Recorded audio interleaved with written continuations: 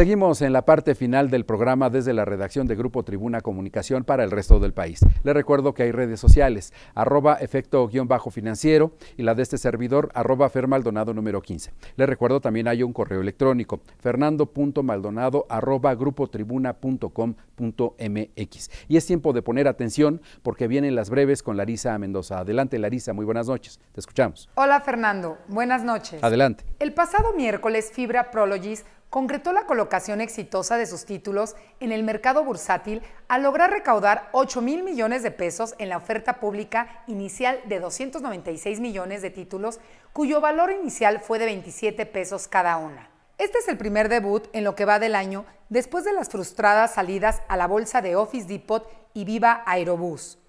Cabe recordar que Prologis es el octavo fideicomiso de inversión en bienes raíces que cotiza en la Bolsa Mexicana de Valores misma que posee y arrenda casi siempre en dólares un total de 177 inmuebles para uso de manufactura y logística. Por fin llegó la fecha y se presentaron los nuevos sistemas operativos para el ecosistema Apple.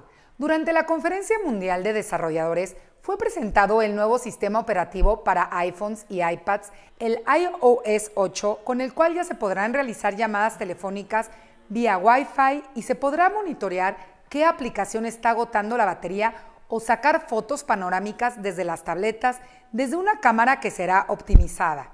Por si fuera poco, el asistente personal Siri soportará Shazam, la famosa app que reconoce canciones. Las computadoras Mac también tendrán su nueva arquitectura cerebral, ya que fue presentado el OS X Yosemite con una nueva tipografía, pero sobre todo con una mejor interacción entre las computadoras y los dispositivos móviles, que permiten mejorar el llamado ecosistema Apple. El presidente Enrique Peña Nieto emprendió una gira por Europa en donde ya visitó Portugal los días 5 y 6 de junio, retribuyendo la visita que el primer ministro Pedro Pasos Coelho hiciera en octubre pasado.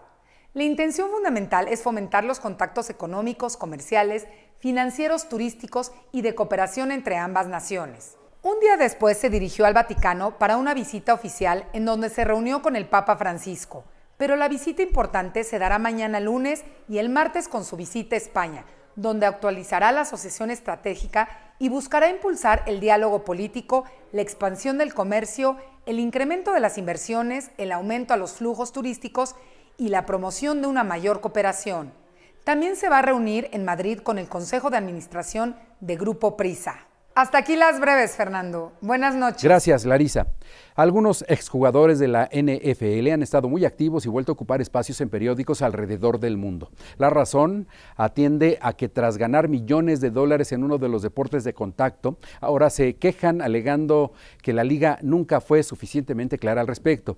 En sí, fueron 15 exjugadores los que interpusieron una demanda que representa los intereses de otros 4.800 jugadores retirados. Uno de los demandantes es el mítico coreback de los eh, Delfines de Miami, Dan Marino, quien posiblemente tras entender que su leyenda o su futuro contrato con eh, ligas o cadenas de televisión podrían verse afectados de por vida, está meditando retirar su firma de esta demanda, alegando que lo que busca era asegurarse de recibir atención médica si en un futuro lo llegara a requerir.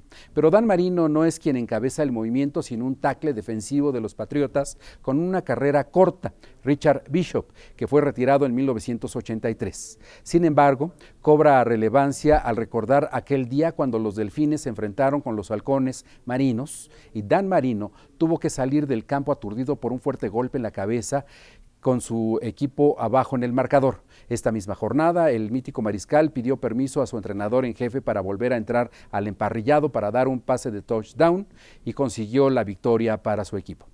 El coreback que tiene su lugar ganado en el Salón de la Fama tuvo que preguntar a un utilero qué era lo que había sucedido, pues no recordaba haber mandado ningún pase de touchdown que le daría la victoria a su equipo. Esto ilustra la circunstancia por la que atraviesa hoy la NFL. Desde luego, la actitud divide opiniones. Le dejo este material para que saque la propia. Mi nombre es Fernando Maldonado. Gracias por el favor de su atención. Muy buenas noches.